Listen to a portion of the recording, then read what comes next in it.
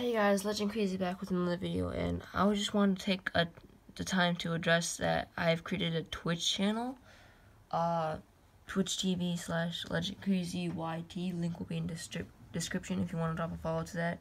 I'll be doing the majority of my live streaming on there, and I'll be making videos on my main channel. Peace.